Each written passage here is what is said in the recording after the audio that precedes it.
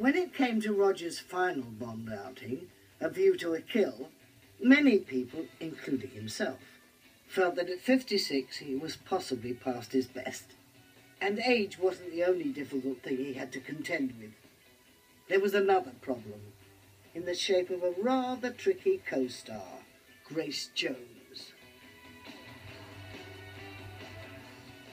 I'm afraid my diplomatic charm was stretched to the limit with Grace. Every day in her dressing room, which was adjacent to mine, she played very loud music. One day I snapped.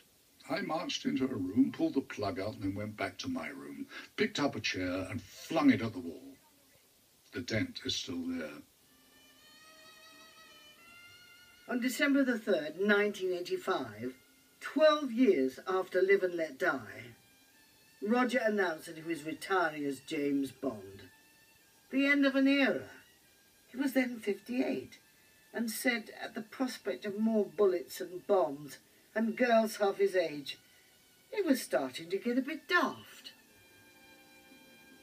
I was beginning to